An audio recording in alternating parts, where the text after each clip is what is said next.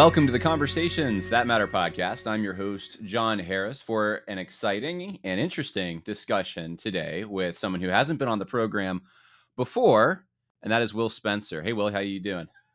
Oh, doing great, Jon. Thanks for having me on.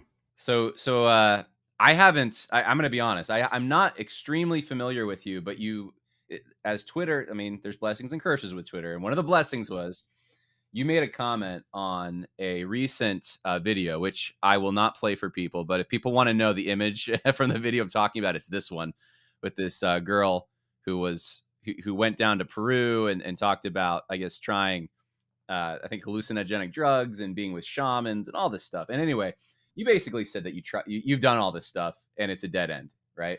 Very much so. Um, yes.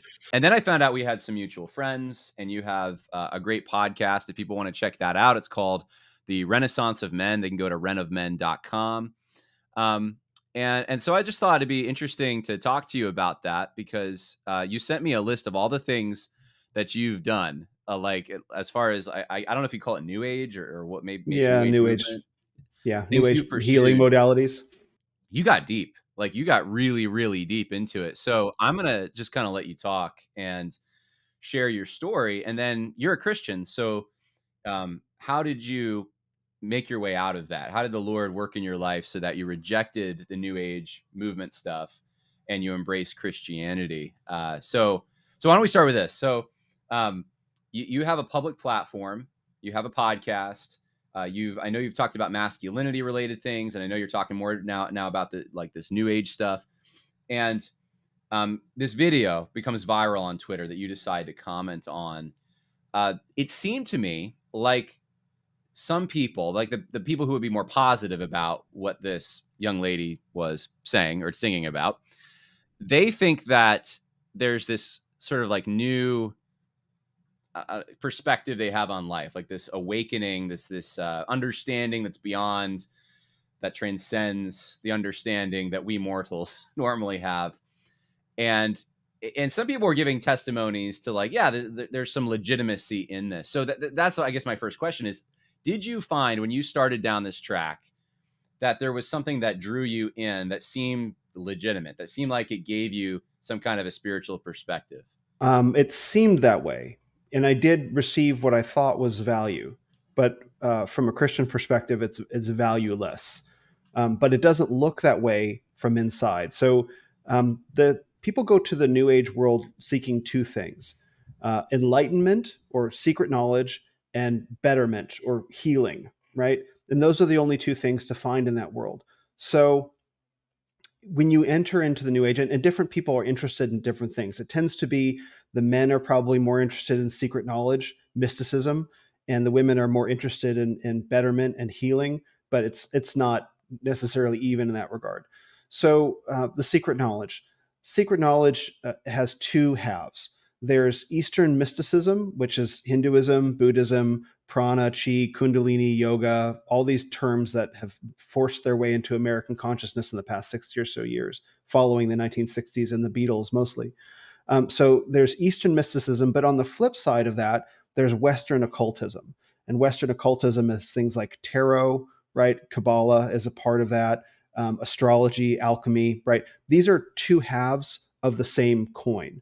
And so, uh, usually, what happens is by entering in, Westerners will be attracted by the Eastern mysticism and end up in the Western occultism, which is explicitly Luciferian and satanic, like explicitly antichrist. The Eastern mysticism doesn't come off that way at first, right? Because it's just this uh, exotic foreign culture. It's appealing, it's different. There was this wholesale rejection of Western values that began with the boomers in the 1960s and in the 50s too and then it propagated through their kids so generation x millennials etc and so there's this appeal of the other in eastern mysticism. Now just a real quick when you're looking at that woman that photo from that video she is wearing all kinds of indigenous kind of symbols and traditions dreadlocks and stuff like that. Yeah exactly. So like the stage that the new age is at now is that's kind of moved on from eastern mysticism and now is kind of like fetishizing indigenous traditions again as explicit rejection of western culture. So that's what you're looking at. You're looking at the rejection of western culture appealing to western kids essentially. So that's eastern mysticism then it leads into western occultism which is satanic in nature, like explicitly so in many ways. Like you saw that at the the statue in uh, the sculpture in Iowa that, that got torn down um, by that man. Praise God for him. Like you're starting to see it bubble up to the surface of American consciousness. So that's the secret knowledge. And we, we can talk about that first, and then we can talk about the betterment if you want, because that shows up in yoga and stuff like that. And it's a whole that's a its own whole conversation. What, so is that what attracted you first, and and like when were you attracted? How did that that movement from whatever you were before to Eastern and mystical stuff start? Mm-hmm. Well, I I grew up uh, Jewish, liberal atheist Jewish, and so um, so Christianity, of course, was far outside of my realm, like any world that I grew up in. Bar mitzvah, we celebrated Hanukkah. We didn't celebrate Christmas. We went to high holiday services. I did my birthright Israel trip, and we can talk about what that is.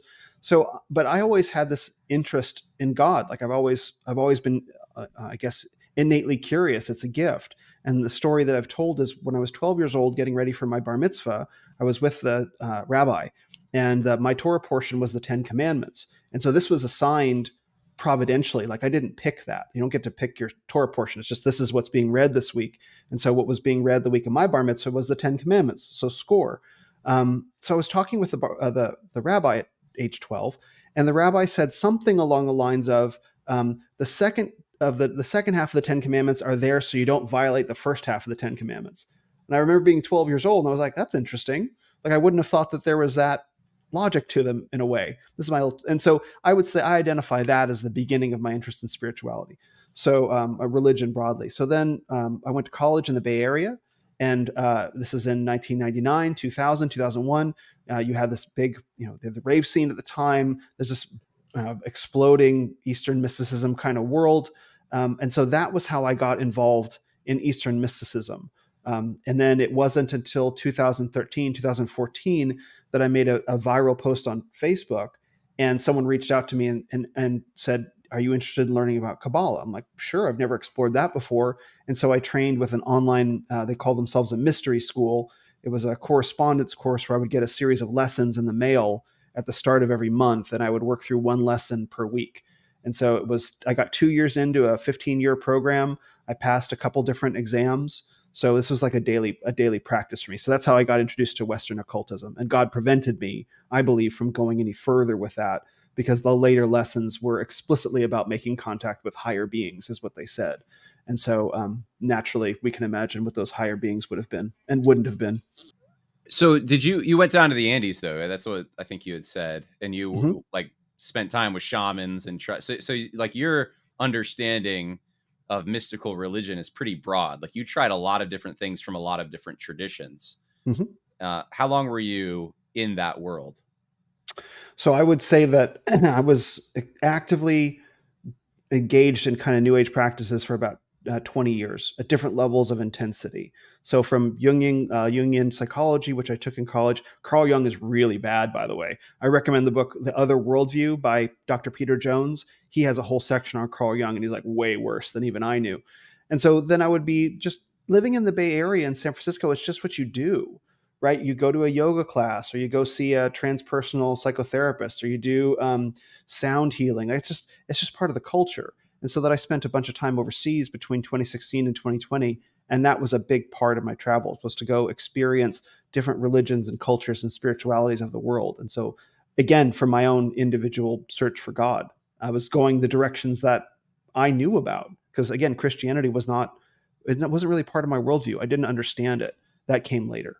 Yeah. What were some of the experiences that you had? And I'm sure you don't want to share all of them, but like some, some things that stand out to you as like, I don't know, it, it, something happened that made you think this is legitimate and kept you because I think you had mentioned it's like trying to chase the rainbow. It's always in front of you, but you never quite reach it. Yeah, yeah, that's that's correct. So, um, uh, so we'll talk about um, the secret knowledge first. so, the secret knowledge of that world is all about being able to manifest like reality with your mind like you you by embodying the secret knowledge and mastering it you have the ability to master reality and, and bend reality to your will this is what the movie the matrix is essentially about like neo becomes this master who can bend reality to his will that's literally what the, what the secret knowledge allegedly teaches. So along the way, there are various tests to try and do that, and then things happen, and it's like, oh wow, I was successful. It's like the secret. You know what I mean? Like maybe maybe uh, there's no reality to it, or maybe there's some supernatural reality, infernal supernatural reality to it. But it seems like it's working, and it becomes very seductive, right?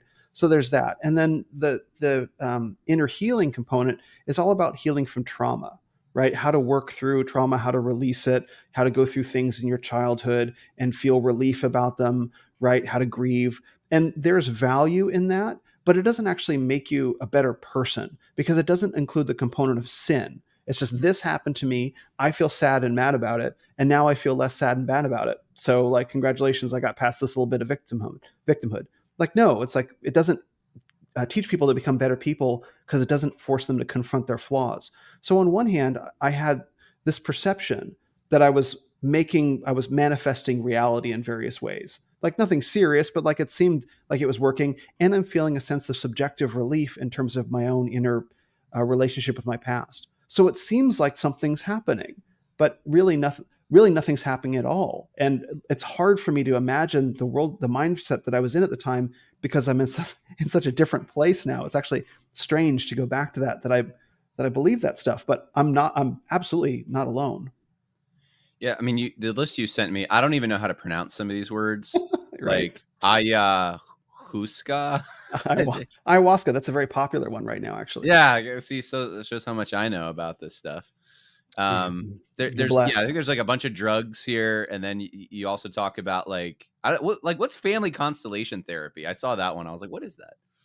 So family constellation therapy is um, it's a way of understanding the the your family uh, and how uh, the the different uh, hangups and flaws uh, of your family influenced you as a as a person.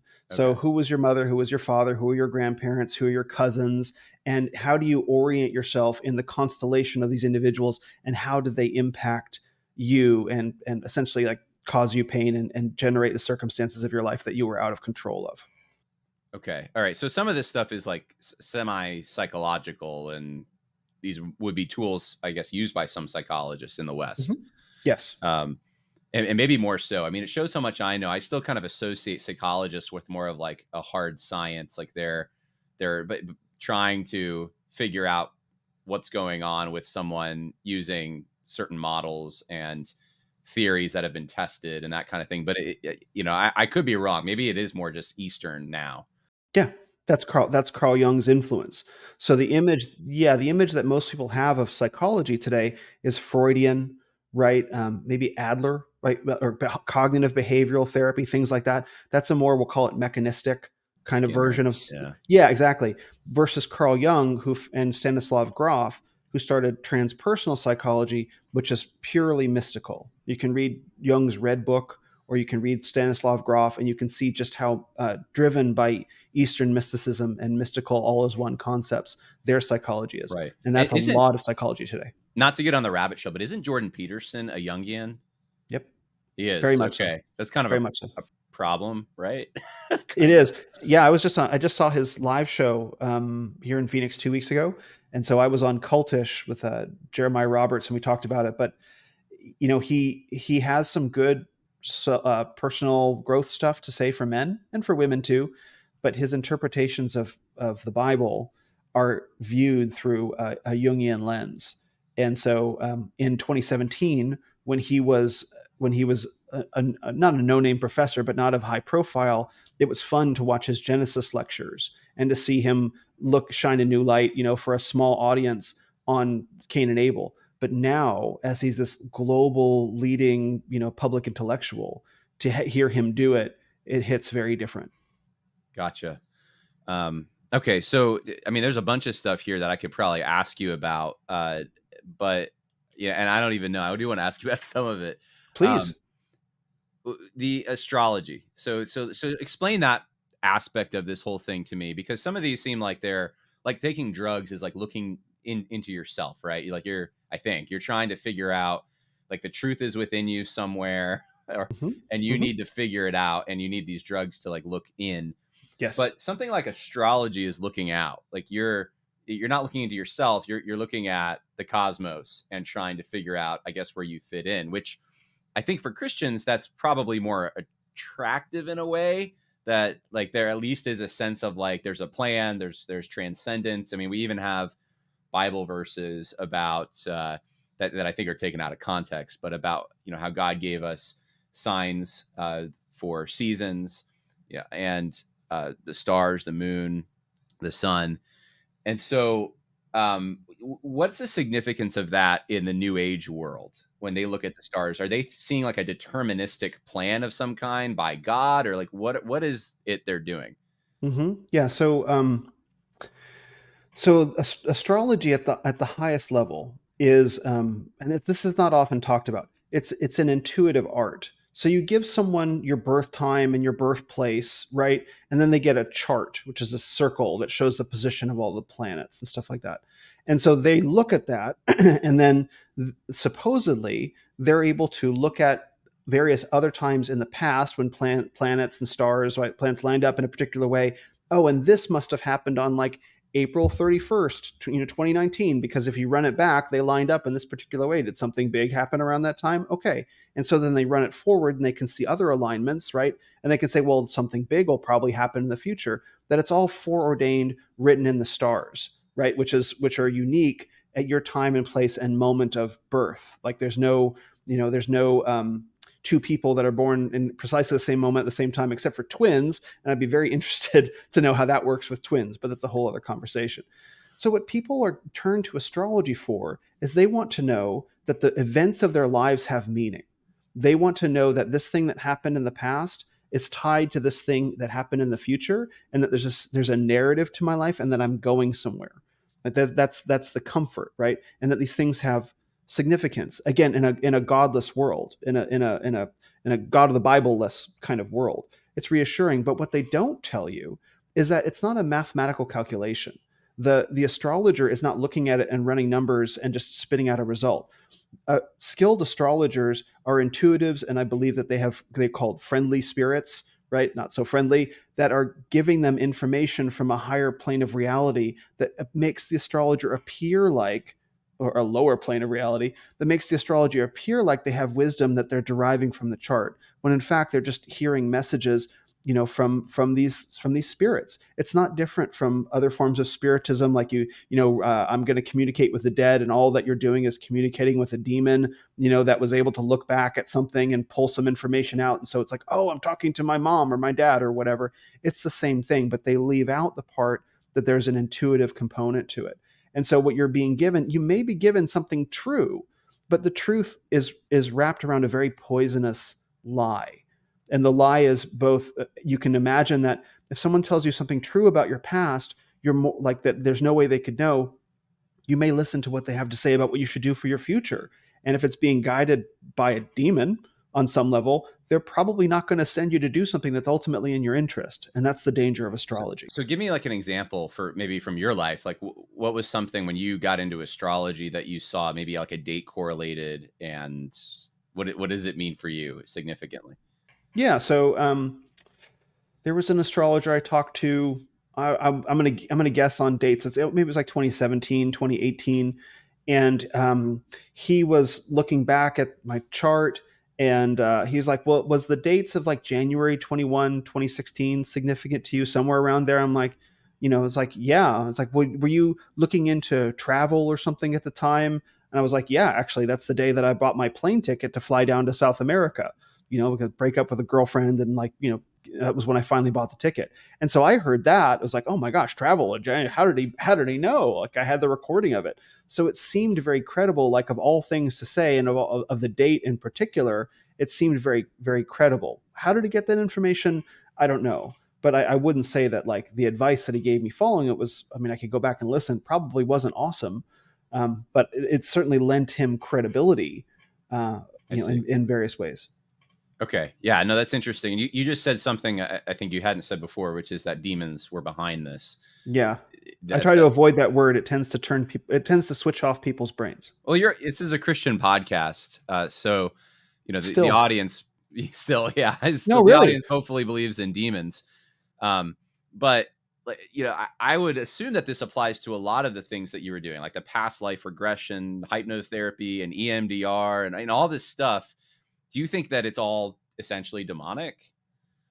Uh, probably. Yeah. I mean, EMDR is a bit different. Um, EMDR is um, EMDR is like it's it's hypno it's a form of hypnosis uh, almost. It's probably not doing it justice, but it's just uh, it's, a, it's someone asking you questions about an experience that's difficult. So there's no there doesn't need to be any supernatural component to it. It's it felt very mechanical, but certainly of the list that I sent you, a great majority of those probably are demonic. Like ayahuasca is a classic example in their own literature. And, and everyone you know listening who will hear about ayahuasca very soon who has heard about it what you're doing when you drink this psychedelic brew is you are consenting to commune with a with a spirit they call it the plant spirit grandmother ayahuasca who then you know works on your quote energy body to heal you and give you secret knowledge and so they refer to this as a conscious entity you know a plant spirit multiple plant spirits. And by drinking this brew you're able and that's the consent to do that. And what is that? That i guarantee you that grandmother grandmother ayahuasca whoever she or it is isn't preaching the gospel right? So yeah so and that's and that's that's how you know.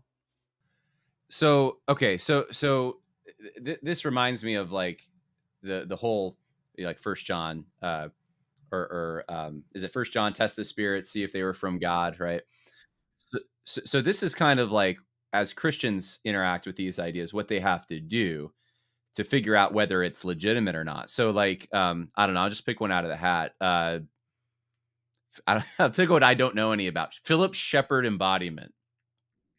I don't know who Philip Shepherd is, but uh, so if some, let's say a Christian is confronted with whatever this is, so you'll have to explain it.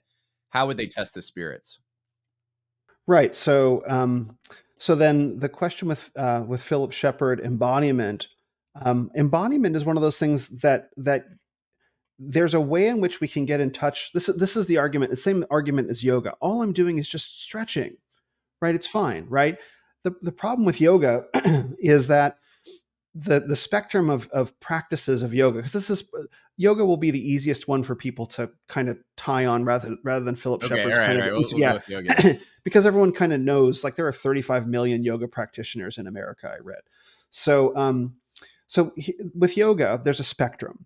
Like you okay sure you can do you can go to like the local YMCA or 24 hour fitness and just, you know, do a bunch of poses and there's not a single religious component. You don't chant om, nothing. They never even tell you that these poses have Hindu names, right? So it's completely stripped away of all possible religious connotations, right?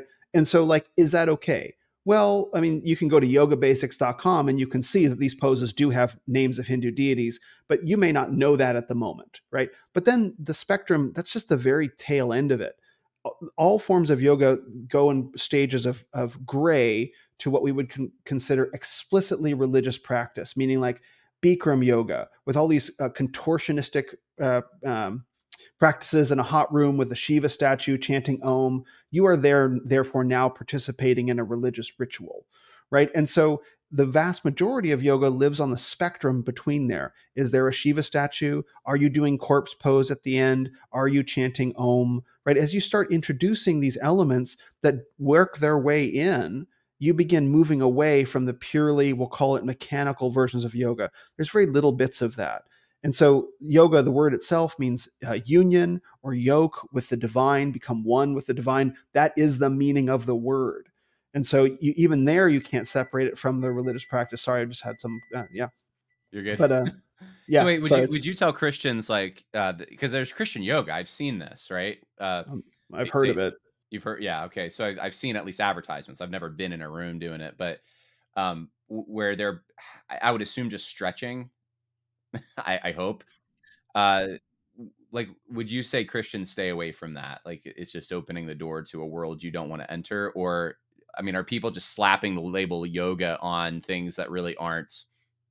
Uh, aren't fully yoga.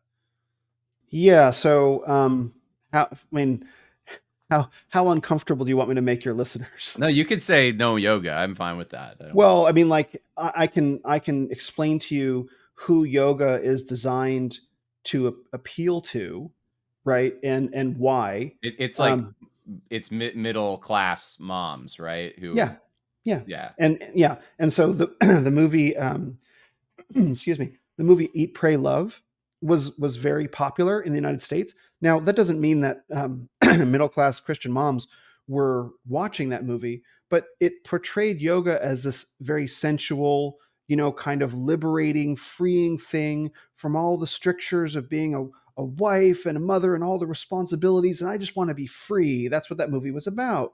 And so yoga as a practice has been playing that role in American culture since the 1960s when it was introduced. It was part of the sexual revolution. A big part of the sexual re- sexual revolution was progressive new age eastern spirituality, right? It was woven right in there, right? It's as a rejection of western Christian values. And so you can't just take that and you can't, you know, well we're just going to scrape off all the Hindu stuff and we're going to slap some Christian labels on it and you know Bob's your uncle. Like that's not that's not how that works. Like there's a heart posture component to like why are you engaging in these practices? What is it you're hoping to get from them? And and the the Christian yoga sites that I've seen are targeted to exactly the same people. That doesn't mean you can't stretch and reach down and touch your toes. Doesn't mean you can't reach up and you know try and touch the ceiling and stretch your arms out to the side. Stretching was around long before yoga was, right? Like we can just do that but you can't just take this eastern mystical practices practice which is what it is and strip away any trappings of, of spirituality and call it christian. Like people say meat sacrifice to idols and i roll my eyes at that because it's not that simple. Yeah i mean i, guess so so motive would play a part in this. Like are you trying to release a, or, or develop a kundalini force? Um that's a, then that's part of it. also the, late, uh, yeah at the extreme end. Oh yeah, I mean, I, I obviously I don't know. I, I remember in gym class, you know, they uh, there was one day that they wanted to do a yoga thing, and I think I just like tried to take a nap. It was, it, it wasn't much. They just played some ohms, and you laid there, and were supposed to like, I guess, do different poses, but, um, but you know, I didn't really participate in that. In the, I guess I was there, and I'm wondering, I don't know if I should have been like, should I have been there? like now, now you have me second guessing it a bit, like um, you're probably okay being in the room because you're in school. Like you don't have much of a choice, but you know the chance. I mean, it's not the end of the world. You know what I mean? Like, but this is the con- go ahead. I'm sorry, I don't mean to cut you off. No, I, I really wasn't saying anything other than that. Just just spitballing about like like where the line is. Is it the motivation? Is it because of the the labels that are on these things? Is it the actual movements themselves? Like it's not just stretching, but it's also like with these added elements.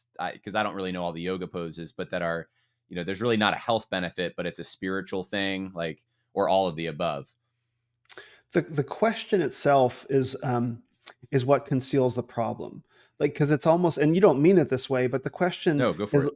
yeah, the question is is a little bit like, well, can I just drink just a little bit of watered down poison? How much poison is enough, right? And this is the thing: is that the world is very much with us, right? These these are not like.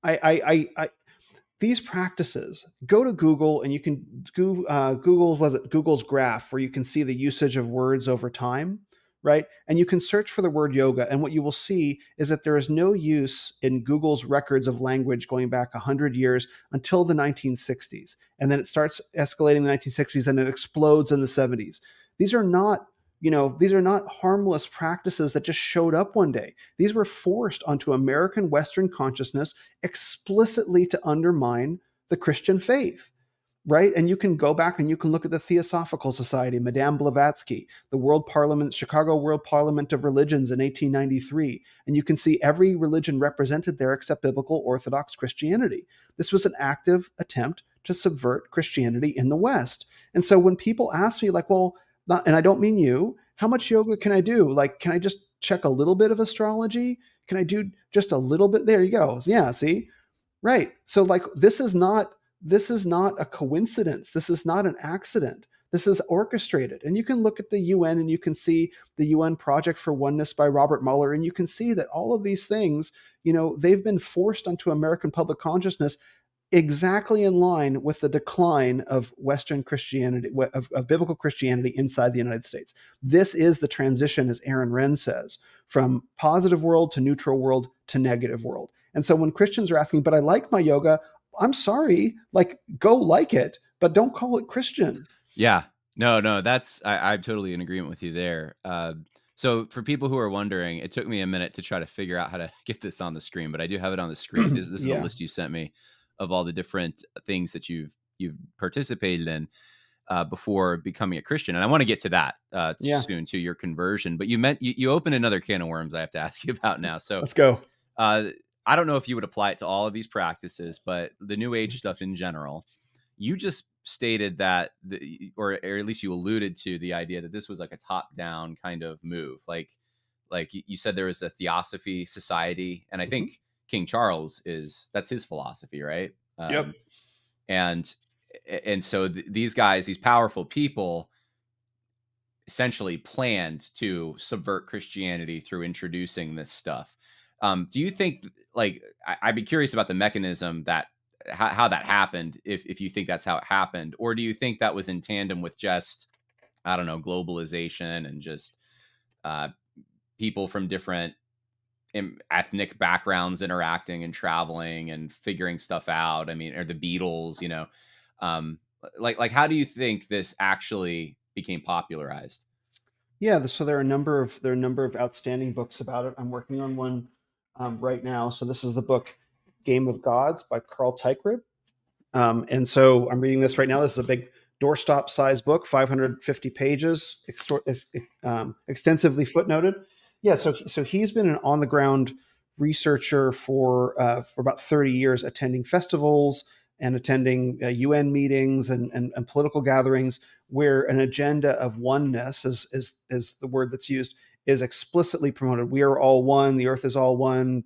You know, uh, Mother Earth, like these kind of these kind of ideas. He's been on the ground doing this for this work for 30 years. He picked it up in the 90s, but this goes all the way back to the 1960s and in fact also the 1950s, right? And so there's another book I have in the back called Libido Dominandi by E. Michael Jones. He's a he's a controversial professor, but this is one of his first works that he wrote in the mid 90s, and this is this is the history of the sexual revolution. And so you can see the seeds of that going all the way back to the French Revolution, essentially, right? So there have been consistent themes working for centuries to try and undermine uh, uh, Western biblical biblical Christianity. There's a book American. sorry about my voice. There's a book American Veda by um, I can't remember the na- author's name. Philip something. He talks about the Hinduization of American religion. Um, and then there's a couple a couple others that I have in mind. There have been a lot of books that have been written about this phenomenon as being orchestrated. You can look at Timothy Leary, funded by the CIA, right? You can look at Operation Midnight Climax, which were some of the first um, LSD experiments done on the population. So this this has been as uncomfortable as it is to say this has been orchestrated. Yes, immigration, of course, is a part of that, like people moving, traveling across the country. But like you look at the Beatles and you look at like you know the influ- influence that they had, you know, and there are all sorts of channels about what was actually going on behind the scenes with the Beatles. Like, and they were such a force. Uh, they went to go meet Maharishi Mahesh Yogi, the in, the inventor of what's called transcendental meditation or TM right? And so they began doing that, and then that was brought over to the United States in force at the same time as you have Woodstock, at the same time as you have all these different um, these cultural things going on with music. Oh, weird scenes inside the canyon. That's another one by Dr. Dave, by no, not not Doctor, but Dave McGowan that talks about some of the strange. Um, military intelligence stuff that was going on with some of the early rock stars in the 60s this has been extensively Really? doc oh yeah oh yeah there's so many books so many christian books as well about the new age particularly in the 80s So I live about I don't know uh, an hour maybe from Woodstock and about thirty minutes from Timothy Leary's house.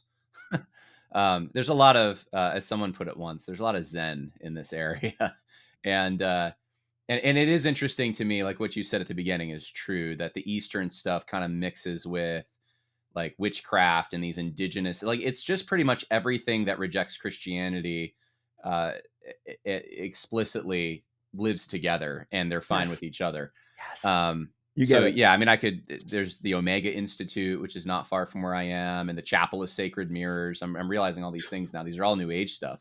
oh my uh, goodness you're in danger get out Yeah, I need to get out. I really do. Um, but you, you mentioned Timothy Leary though, and I, I was just curious. Um, so the CIA was funding him because I, I thought he was just kind of a a, professor. Wasn't he a college professor who just said to tune in and, and drop out or something? And Mhm. yeah he was involved with the cia so was the CIA wanted him to promote drugs.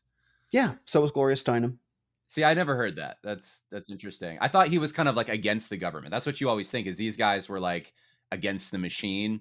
But you're saying actually the machine was kind of like controlling him. yeah. So so what the interest of the machine, right, is is of course it's you can be angry and shake your fist at the at the military industrial complex, right, as uh, Truman I think described or Eisenhower, one of those two.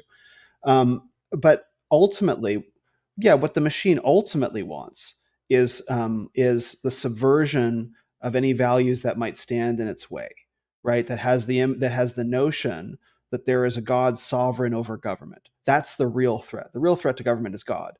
And so if you can get a bunch of people mad about the war and ultimately they can't do anything about it because their senators and congressmen are going to vote for it regardless so they can, you know, stage or you know or or or gin things up in, in the media or stage events to direct public consciousness, they they can and they do do that. Um, but what you really don't want is you really don't want strong Christian families, right? Productive households saying, no, God is sovereign over the state. That's what the state doesn't want. And so the, naturally, the CIA, which is trying to remove, remove any impediments to some of the kind of tyranny that we're experiencing today, is not going to want especially strong Christian fathers and husbands and households standing in its way, faithful Christian and, and churches as well. So naturally, the CIA would have interest in propagating these mind altering chemicals and, and practices particularly to uh, to rebellious baby boomers who had had the notion of the teenager just invented for them, right? And they have cars and they have all this American prosperity coming out of the 1950s, parents giving their kids a good life, right? And you have this you have all this riches and sloshing around inside the riches, you have all these very subversive ideas that took root in the 50s and the 60s. And so now we're living on the tail end of that. You, you think it was really that thought out? Because it seems Uh, it's it's definitely it sounds conspiratorial, right? Like the government is like we'll undermine the household, we'll undermine people who want to, I guess, oppose us because they believe in God by introducing this stuff. I mean, I believe I can believe it. After 2020, there's I can believe almost anything. But exactly, eh, well, the the interest of the state in undermining and undermining religion is is not new to this era, right? It's it's been happening forever right? That was the French Revolution, was an explicit attempt in killing the king to kill God's representative on earth. That's what I think it was Jean-Paul Sartre wrote. Like that's what they were trying to do.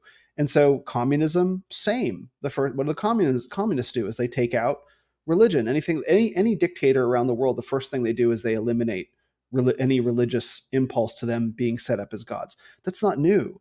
But in America, because of because we have um, what we might call like a distributed government, it's very difficult to subvert all of a distributed government at the federal, local, and uh, state and local level all at once. So what do you have to do? Well, you can't really come in over the top. You have to get in under the ground. And when everyone's you know intoxicated essentially on wealth, on prosperity, post-war prosperity, people are going to take their eyes they're going to take their eyes off the ball. There's TV. We do not understand just how powerful a medium television is because we grew up with it. But there was a moment in time where people having media that they could consume privately in their own homes, that was huge. People used to go to movie theaters or you used to get like little, you know, uh, record players, like records, right? And they wouldn't, you couldn't play a record in the car. But then suddenly in the 50s and 60s, you had movie theaters, right? And then you had television where you can consume media privately. And then you have the radio in your car. And so you're consuming media privately. And so that was an enormous shift that we just live with every day. And it doesn't take a lot to start inserting messages like go listen to all the music of the 1960s.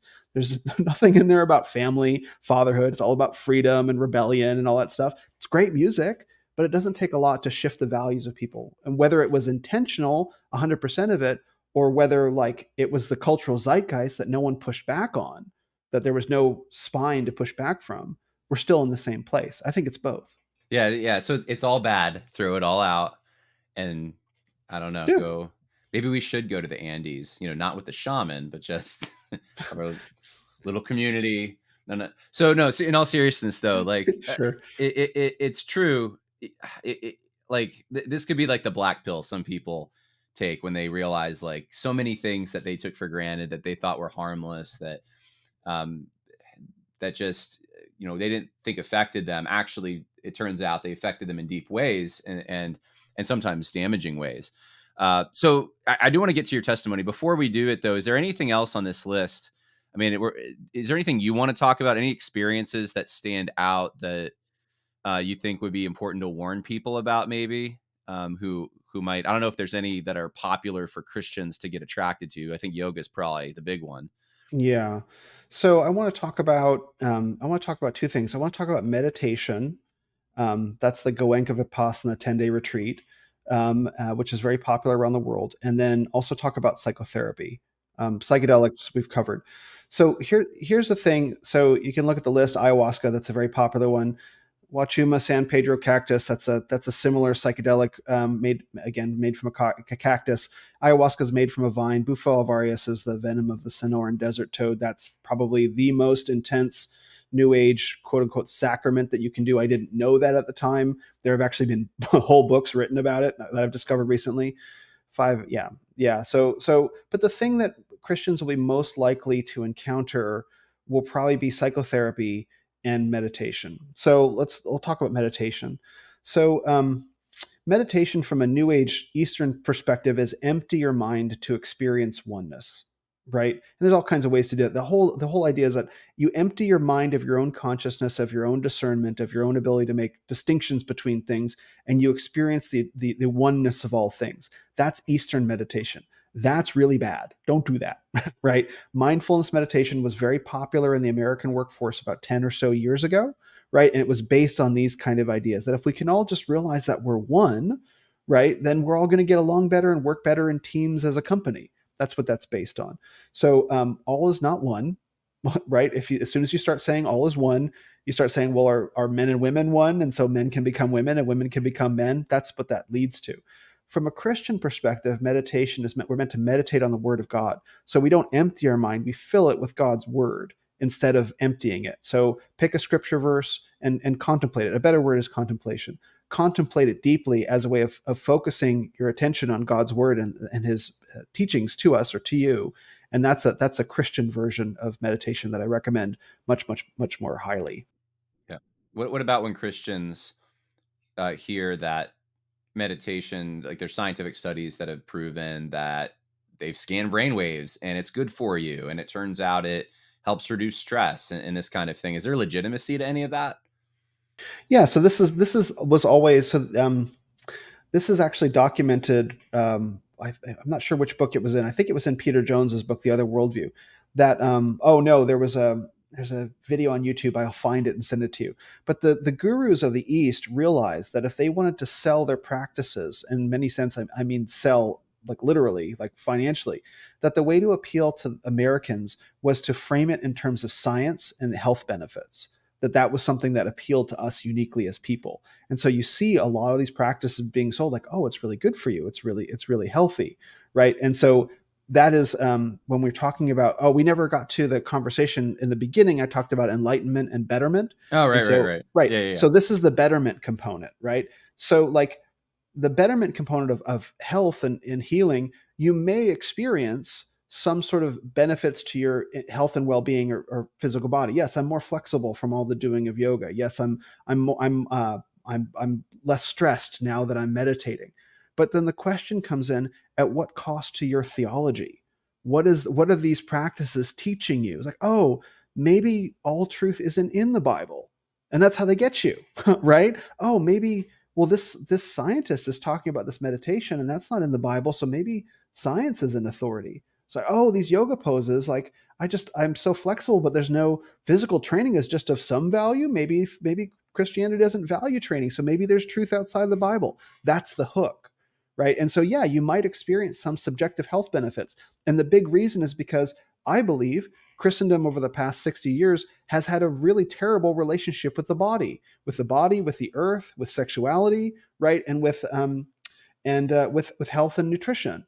And so it's abdicated on all of these questions. And so people have gone looking elsewhere for the answers because these questions are not addressed in churches. And so what they find is they find like, oh yeah, here, come have this little bit of wellness stuff. Don't there's just a little bit of spiritual poison in there. And then over time you don't pick up on it and you become kind of like desensitized to it. And before too long, you're going from the 24-hour fitness yoga class, you're in the Bikram class right and then you're and then you you you're outside the faith essentially at that point so um and so so when you say people put, hook on to these scientific studies yeah you can engage in these practices but are you aware of the worldview that's behind them And would you not find more peace and well being in prayer and confession of sin? We could talk about that. That was a huge one for me in the confession of sin and the relieving of your conscience. Are you stressed because like work is really bothering you? Maybe. Or is there unconfessed sin that you're holding on to that you need to go confess that? And that's what our culture does not deal with. And people really like, need to hear. Like, like, like someone could say, oh, alcohol numbs you and makes the pain better too. Like, you know, it, it helps. Um, but obviously we know that uh, that's medicating yourself, quote unquote, with alcohol over the long term is going to cause lasting issues. And even in the short term, like there's much better alternatives that don't leave you with a guilty conscience and that kind of thing. So it seems like it's it's similar to that. Um, it's interesting you talk about Christians not being good in this area because uh, I've wondered that too. I haven't delved into it, but there was a, a little controversy maybe like I don't know five months ago. I don't know if you saw this on X, formerly Twitter. Uh, there was a whole thing about I don't, it, it was so silly, but it, it, it maybe sort of revealed something. There was all these uh, younger guys posting like AI generated images of really strong church fathers. Do you remember this? Mm-hmm, of course. And and then there was some guys, generally like older guys, who were just chiding them about how yeah. uh, they they need to realize what real manliness is and it's godliness and it's it's not really it's not about strength and and, and I just thought the whole thing was silly because I was like, of course, being a man is like that's one of the main things that makes men men is like they're stronger than women. Uh, and you look at a lot of the you know even popular preachers, and you can tell they spend a whole lot of time in their study and not a whole lot of time doing actual work uh, physically. And there, there there just does seem to be something wrong with that. And I don't know why I mean, this is such a rabbit trail, but I, I really just don't uh, know why that's the case. Like how we got there and how like it, it's just it's so stupid that Eastern religion swoops in to kind of fill that void where Christians, I mean, if you went back, I think you said 60 years. So if you went back to like 100 years ago, I'm sure that wouldn't have been like a as big of a draw because I think Christians probably were more fit and were active and that kind of thing. So I don't know if you have any follow up thoughts on that. Yeah, yeah, absolutely. I think a big a big part of it is that um, I think uh, where to start. Cheap plastic fiat food has been sold to the American public since essentially 1950s and 1960s. So fast food is just a manifestation of it. You can go to the supermarket and you're getting a lot of processed stuff.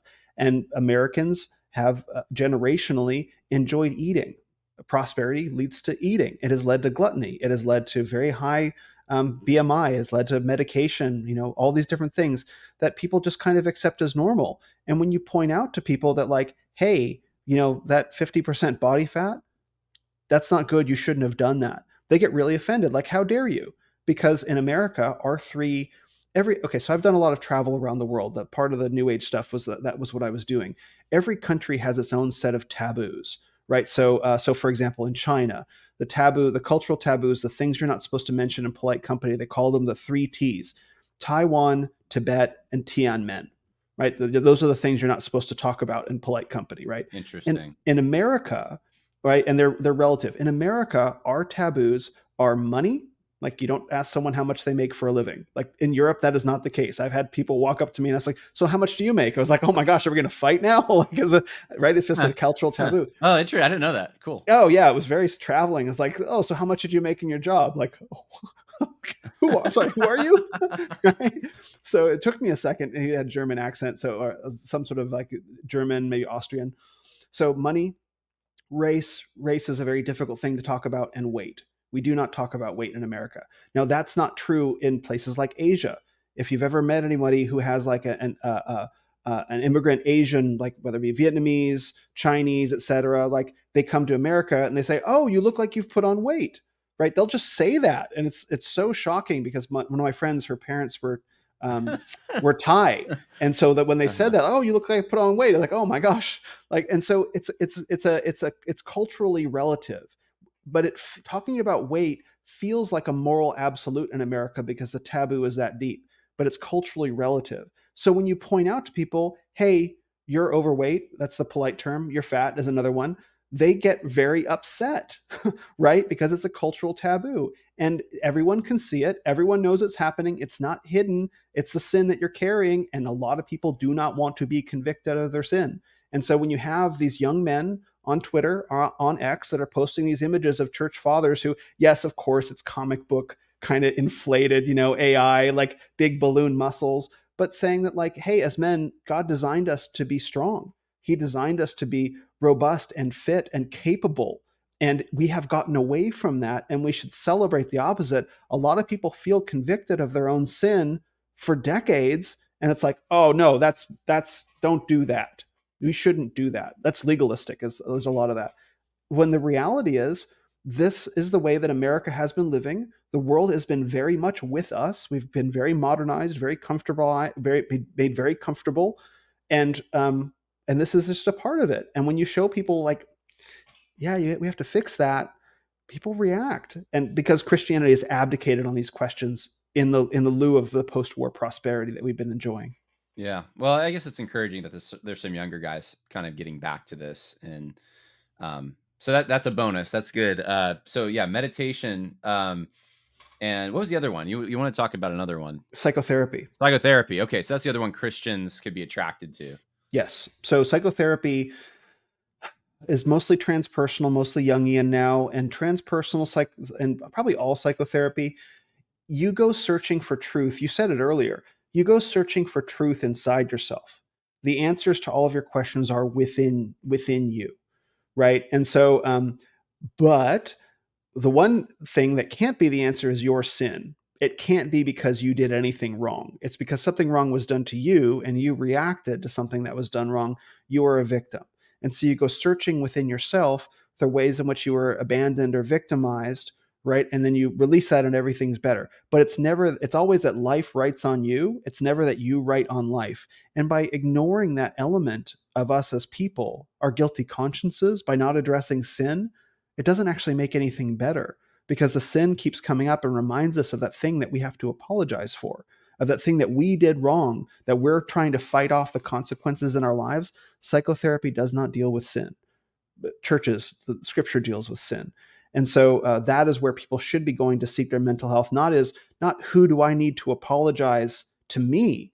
It's the the beginning approach should be who do I need to go to apologize to? Who do I need to forgive as I've been forgiven? Psychotherapy does not teach that. It teaches that the answers are within you. It does not teach that the answers are within Scripture. And the answers are within Scripture for how to lead a godly life, which I believe is what people ultimately want. But modernity hasn't given them that. It's given them the opposite for all the reasons we've talked about. And so psychotherapy doesn't actually make it better. It ends up being this never ending cycle of digging for more and more trauma because you finally want to be free. Oh, there's another thing. Oh, there's another thing. I was like, no, like that's not, that you're never going to get to the bottom of that well. But you can rectify your life by fixing the things that you did wrong and confessing your sin and being at peace with God. That's the peace that surpasses understanding. And so, not to go looking to psychotherapy for that, go looking to a biblical counselor. So, walk through me through what happened with you because you were so deep mm. into this New Age stuff. Yeah. And you're a Christian now. You're you're Jewish, but somehow you're saying Christ is King. I don't know how that works, but Christ is King. Yeah. so my water bottle's got Christ is Lord sticker on it as well. oh my goodness. Uh, yeah. So so like, were you approached like in an evangelistic encounter, or did you just search, start reading the Bible? What happened? I love this story. So um, in um, August of 2015, I went to the Burning Man Festival, um, which is uh, starts 80, at Burning Man. Okay, it starts at Burning Man, the, the, most unlikely place. And so this is a, this is a longer story, um, but I can just give you the short version. So um, I was coming off of a breakup, and so I went out to Burning Man. I was living in the Bay Area, and you can just do that because it's like a like a four or five hour drive. And so I just bought a ticket and went and showed up with some friends and they're like what are you doing here i'm like let's talk about that later where can i set up my tent so the guy that i set up my tent next to i woke up in the morning started talking with him said, he's like oh what brings you out here? I was like oh i'm coming off a breakup. Well if you're grieving you should go over to this camp spirit dream. They can help you. I saw them yesterday. Perfect. So i go over to this camp spirit dream and i end up in this three hour sort of healing encounter with them just talking about a lot of stuff from my past that i had to work through you know um, and at the end of that healing encounter, I had a vision of Jesus Christ. And uh, there's a lot. There's a big story. There's a big story to all of that um, that I can I can tell you if you'd like. But um, the short version is, is like I, I, saw this and and confirmed it with them, and they're smiling like, "Who are you people?" Like, well, we're we're Christians. We've been running this underground ministry here for 12 years. And so what they had, they had, they were more of a charismatic kind of faith, and so they had gotten um, gotten some uh, guidance, let's say, that they were to go and do evangelism at Burning Man, but they knew that they couldn't just you know set up and start handing out Bibles. So they they went for a couple years and they explored and they realized like, okay, here are the values of this new country we're in. So how can we offer something to people that speaks their language, but that's still consistent within a Christian worldview that brings them in and gives us the chance to minister to them and show them the love of the Father because it's a charismatic, so they tend to focus very much on on the love of God the Father. And what you what they actually found is that a lot of people in this New Age world they have very deep uh, father father wounds, as as Doug Wilson calls it. Pastor Doug Wilson calls it father hunger. That's pervasive in our society, and so they discovered that they have God the Father's love that they can offer to these thousands of broken people showing up wanting to be loved by a father. And so that was that was what they offered, you know, in, in various they didn't speak in explicitly Christian language. They had developed their own kind of way using biblical words that wouldn't necessarily trigger the the anti-Christian programming as many New Age people, myself included. And so at the end, I had this sort of vision of Christ, right? And I was like, "Who are you people?" Like, well, Christians. So like, great, okay, cool, thanks, nice to meet you. Because I was still in the mindset that all religions were equal paths up the mountain, and I had just collected the Christianity Pokemon. Like, oh, cool, nice. So um, I went and I traveled, and and so that was when I did a lot of those New Age practices that I showed you. Now, while I was on the road, traveling solo in, in third world countries, developed countries, etc., I became aware that metaphysical evil was a real thing. Because in the New Age world, where all is one, and this is explicitly stated, I think, in Buddhism, evil is considered relative to your perception. So if you see something evil happening, if all is one and all is God, then that's God too. And it's just your limited perception that leads you to see it as evil. And I, the things that I saw and the things that I did, I was like, I can't get down with that idea. I can't get down with the idea that these poor, suffering, starving, struggling people, I, I can't look them in the eye and say, sorry, kid, that's just your karma. I just couldn't do that. Or, or you know, and, and what really, um, what really convicted me um, was when I discovered like Jeffrey Epstein. I think that's just public knowledge who that guy was and what he was doing. It's like I couldn't bring myself to say to a, a child being sex trafficked, "Hey, kid, that's just your karma." or the sex trafficker like that must be your karma to persecute this kid. It shattered my paradigms. And so I, w- I would talk to people in the new age world like hey i want to talk about evil. I want to talk about this. Like this is happening.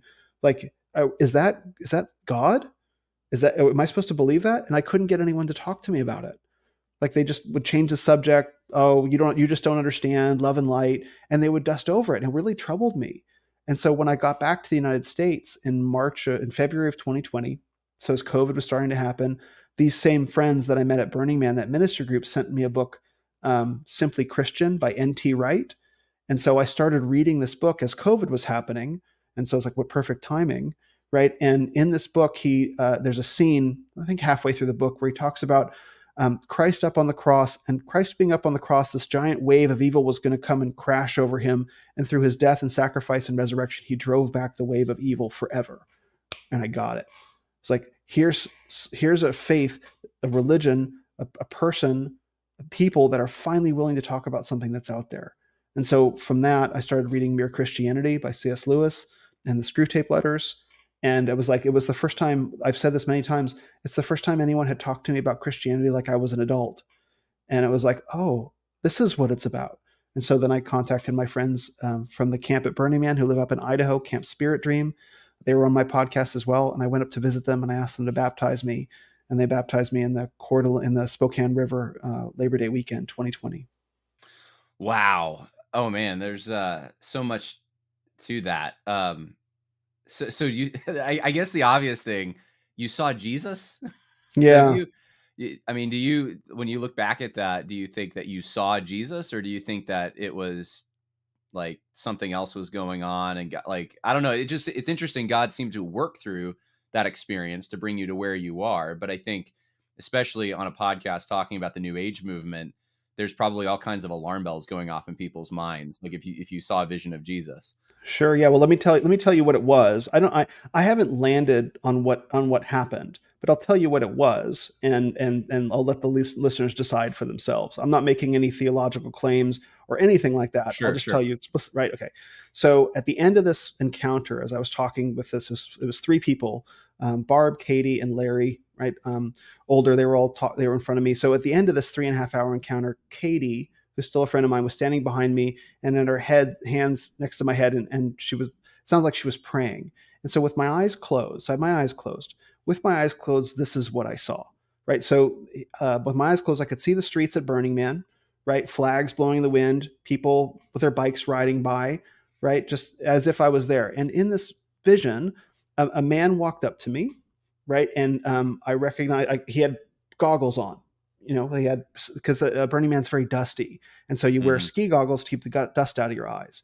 And so he walked up to me, and I recognized, you know, I could see the shape of his head and his face and and uh, hair and stuff, and just just walks up with the goggles on. I'm like, okay, and then the face seemed to insist, no, look, I'm like, okay, I see you, I see, I, I see the shape of, of everything. Cool, okay. So then my then I open my eyes, and then Katie says to me, "There's someone I want you to meet." And it's like, okay. So I follow her to the other side of the tent. Like, and, and so it was near the entrance, but it was on the side of a pillar that I could not have seen when I walked in.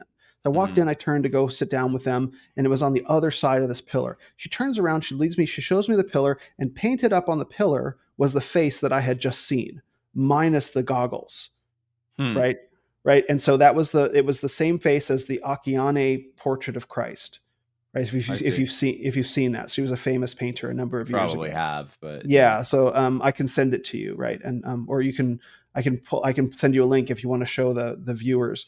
Gotcha, but, gotcha. Right. So, so it was it was to, to put more accurately, I suppose you had a a vision or a uh, you saw when you closed your eyes the painting, the person in the painting. Yes, but the but the but the person but depicting Jesus. Yeah. Well, so yeah, so the painting was depicting Jesus. I saw the same face, but then with my eyes closed, the face had goggle Burning Man goggles on.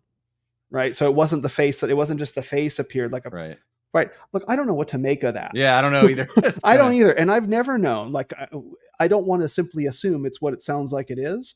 And so I'm not ever probably going to land at an answer you know maybe some you know and in glory i'll ask like hey what was that? Right? But I, I, can tell you that like it it it bonded me to these people and it was like you're, you're christians what are you doing here? And then they became the like i went to go visit them for christmas that year and it wasn't so much that experience of um uh, on the on the playa that made such a big difference at the festival it was going to spend christmas with them and seeing them joyful and loving and singing songs. They're hunters they served me bear. It was like they were everything they were everything that i had ever like kind of intuited somehow that christians were meant to be but i had never met christians like them before right? They truly embodied the faith with everything they did. I never felt chastised or lectured. There was never a moment where i felt like you know, I was being actively evangelized or anything like that. It was just like, no, just come, let us love on you, and we'll just show you the way that we live. And so their life was their evangelism. And so that to me was more was more powerful than anything. I've, I've told them that that that that Christmas was more powerful, and so I kept in touch with them while I was traveling. They were praying for me constantly, which I'm really glad. So because uh, I needed it, and so when I got back, you know, it was it was the book that they gave me, Simply Christian, that they gave me that was that was my doorway in. So what happened? Oh, yeah, praise God, absolutely. So um, I'm I'm not going to say that objectively I know for sure. Like I'm not. Again, I hope your listeners don't hear me saying that I received any private revelation because I don't think that's the case. But I saw what I saw, and what it means, I'll never know. But that's what happened. Yeah, no, that's that is a uh, that fascinating, and and it just the fact that they're doing this, operating this ministry at Burning Man, I'm pretty impressed by that too. That's like uh, innovative to go to where so much darkness and sin is and be able to communicate in a way that the people who are there um, it's on their level. Um, so final question then you, you said that the new age stuff uh, that, that you pursued for years it didn't have any lasting peace or satisfaction. What do you say about christianity? I'm so glad you asked. So over over 20 years of all those practices that I did. I spent a lot of money and a lot of energy and a lot of time. I describe it as like turning myself inside out to try and heal or grow. You know, it was a big part of my life. The amount of growth that I experienced relative to the things I did was very small in comparison to what I've experienced in sanctification of the Holy Spirit and just three and a half years. I don't have to praise pay God. a praise. Yeah, I don't have to pray, pay a therapist or go do a retreat or drink a magic potion or do any of the, any of that. Like the sanctification process is is is real, and it's a it's a profound gift, and um, and I'm very very grateful to God for it. And so I, I talk about the things that I do now. So I let people inside the New Age and inside Christianity know that that will get you nowhere. The difference is like a, a McDonald's, a small McDonald's hamburger compared to like the a steak, like the, the steak that you've always wanted. It's mm. it, and I, I, think ultimately what people are seeking in the New Age is is the healing that's available to them in Christ through sanctification, through sin and confession and repentance and prayer and scripture reading all these things are very real. They've transformed me and transformed my life. So that's Praise God. Yeah, thank you. So if people want to uh, reach out, because I'm sure some people who are in these uh, various New Age movements will see the video or, or, listen to the podcast, and they might want to talk to you. Uh, how can they mm-hmm. go about doing that? Yeah, so you can find um, you can find my podcast at reignofmen.com slash slash links. You can find the audio and you can find the YouTube there You can also find my Twitter and Instagram. You can DM me on Instagram or Twitter at Reign of Men.